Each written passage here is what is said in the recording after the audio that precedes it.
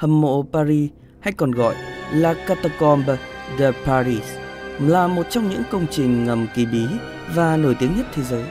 Hầm mộ này không chỉ là nơi lưu giữ hài cốt của hơn 6 triệu người mà còn mang theo những câu chuyện huyền bí, truyền thuyết ma quái và vô số những điều chưa được giải mã hoàn toàn. Hầm mộ không đơn thuần là một nghĩa trang khổng lồ mà còn là một mê cung ngầm chứa đầy những dấu vết lịch sử và các bí ẩn mà con người chưa khám phá hết. Vào cuối thế kỷ 17, khi trở thành một trong những thành phố lớn nhất của châu Âu, Paris phải đối diện với vấn đề nghiêm trọng về các nghĩa trang. Các nghĩa trang tại Paris rơi vào tình trạng chật trội, gặp các vấn đề về vệ sinh sau khi phải trải qua nhiều cuộc chiến tranh, dịch bệnh, đặc biệt là đại dịch hạch. Riêng tại Pháp, trong thập niên 1340, 7 triệu người đã thiệt mạng bởi căn bệnh được mệnh danh là cái chết đen. Chính đại dịch này là nguyên nhân đẩy các nghĩa trang ở Paris lúc đó vào tình trạng quá tải và gián tiếp dẫn tới sự ra đời của hầm mộ Paris. Khi nhiều nghĩa trang ở khu vực trung tâm thành phố không còn đủ chỗ để chôn cất, các ngôi mộ cũ bị đào bới để chôn thêm người mới, dẫn đến tình trạng hỗn loạn và ô nhiễm nghiêm trọng, ảnh hưởng đến sức khỏe cộng đồng. Những khu dân cư xung quanh nghĩa trang phản ánh về mùi xác chết bốc lên nồng nặc. Ngay những cửa hàng nước hoa gần đó cũng phải ngừng kinh doanh. Năm 1763, vua Louis XV cấm người dân chôn cất người chết trong thành phố. Tuy nhiên vẫn còn đó câu hỏi, phải làm gì với những xác chết trong thành phố? Mùa xuân năm 1780, một cơn mưa kéo dài khiến các bức tường trắng xung quanh nghĩa trang Les Innocents sụp đổ. Kéo theo đó là các thi thể tràn vào thành phố. Giải pháp được đưa ra vào năm 1786 là di rời hài cốt từ các nghĩa trang quá tải và đặt chúng trong những mỏ đá vôi bỏ hoang nằm sâu dưới lòng đất Paris. Ban đầu, đây là một quyết định mang tính kỹ thuật nhằm giải quyết vấn đề xã hội.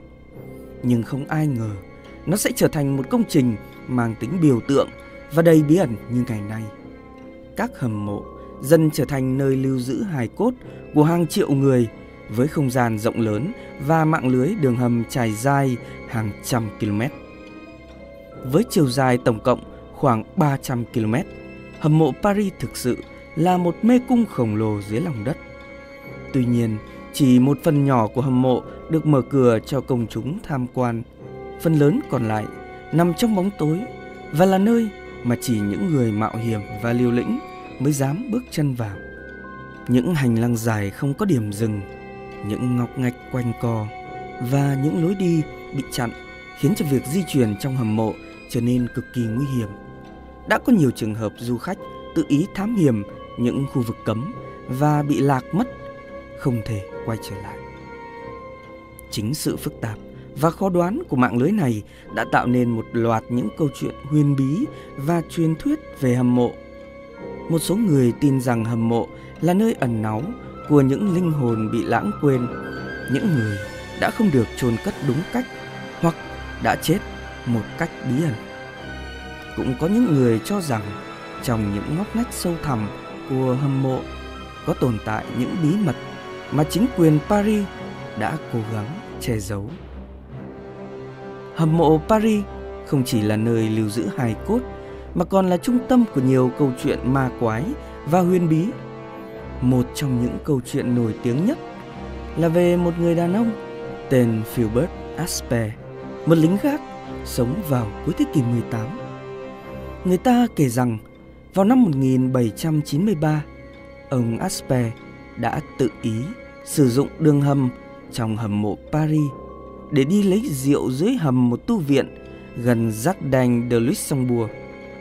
Tuy nhiên, do hệ thống đường hầm phức tạp, Asper đã bị lạc và mất tích. Đến năm 1804, người ta phát hiện ra thi thể của ông cùng với chiếc đèn lồng mà ông mang theo. Vị trí mà thi thể ông được tìm thấy chỉ cách lối vào vài mét. Điều này khiến nhiều người cho rằng ông bị một thế lực bí ẩn nào đó cản trở và dẫn đến cái chết đau đớn của mình. Ban quản lý hầm quyết định chôn cất Asper ngay tại đây. Nhiều người tin rằng linh hồn ông vẫn lang thang trong hầm mộ để bảo vệ những người thám hiểm nơi đây. Câu chuyện này không chỉ là một lời cảnh báo về sự nguy hiểm của việc thám hiểm hầm mộ, mà còn khiến nhiều người tin rằng hầm mộ thực sự là nơi ngự trị của các linh hồn không yên nghỉ. Những du khách hiện đại kể lại rằng họ đã cảm thấy như có ai đó đang theo dõi họ khi đi qua các hành lang tối tăm hoặc nghe thấy những âm thanh lạ lùng từ những góc khuất sâu trong hầm mộ. Trong suốt chiều dài lịch sử, hầm mộ Paris đã chứng kiến nhiều sự kiện kỳ lạ. Một trong những sự kiện nổi tiếng là việc một nhóm các nhà khảo cổ năm 2004 phát hiện ra một dạp chiếu phim ngầm ẩn sâu trong một phần của hầm mộ. Dạp chiếu phim này được trang bị đầy đủ từ màn hình, ghế ngồi và cả một quầy bar. Điều kỳ lạ hơn là tất cả các thiết bị điện tại đây đều hoạt động tốt và khi các nhà khảo cổ quay lại sau vài ngày để điều tra thêm thì mọi thứ đã biến mất không dấu vết. Một sự kiện khác xảy ra vào năm 2015 khi hai thanh thiếu niên bị mất tích sau khi thám hiểm hầm mộ bất hợp pháp. Sau 3 ngày, họ được tìm thấy trong tình trạng kiệt sức và hoảng loạn. Nhưng họ không thể giải thích được vì sao mình lại bị lạc trong một khu vực mà họ đã từng thám hiểm nhiều lần trước đó. Các nhà chức trách đã tiến hành điều tra nhưng không tìm thấy bất kỳ điều gì bất thường. Ngoài ra, một số người đã chia sẻ trải nghiệm kỳ lạ về việc nghe thấy tiếng thì thầm hay tiếng bước chân dù rõ ràng không có ai khác trong các đường hầm. Một số người còn cảm nhận được những làn gió lạnh đột ngột thổi qua, mặc dù không có nguồn không khí lưu thông nào trong lòng đất.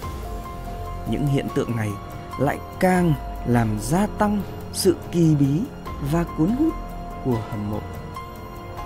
Một khía cạnh ít người biết đến về hầm mộ Paris là mối liên hệ của nó với các nhóm nghệ sĩ và những người yêu thích nghệ thuật ngầm.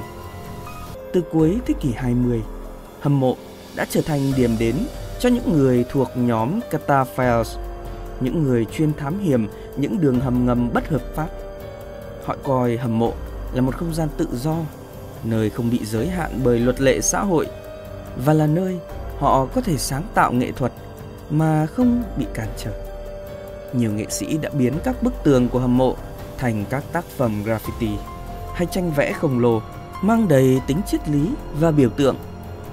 Một số nhóm nghệ sĩ thậm chí còn tổ chức các buổi biểu diễn âm nhạc, rồi mở dạp chiếu phim hay các buổi triển lãm nghệ thuật bí mật trong lòng hầm mộ.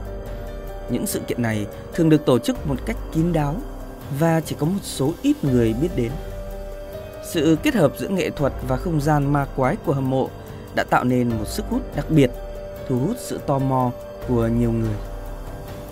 Mặc dù hầm mộ Paris đã được mở cửa cho công chúng tham quan từ năm 1809, nhưng vẫn còn rất nhiều khu vực chưa được khám phá hoặc không thể tiếp cận. Các nhà thám hiểm tin rằng trong các khu vực này có thể tồn tại những bí mật chưa được tiết lộ như những hài cốt của các nhân vật lịch sử nổi tiếng hay kho báu bị chôn giấu.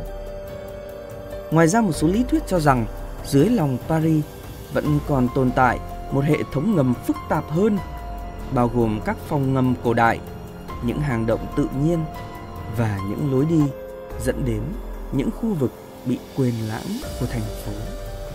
Những giả thuyết này lại càng làm tăng thêm sự bí ẩn và hấp dẫn của hầm mộ Paris.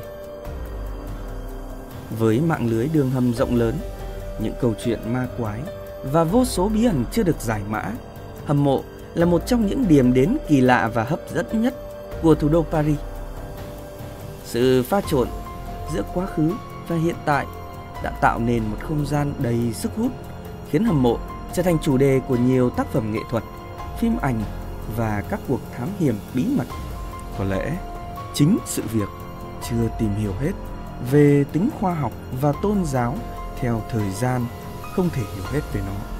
đã làm cho hầm mộ Paris trở thành một trong những bí ẩn lớn nhất của thế giới ngầm mà con người từng biết đến.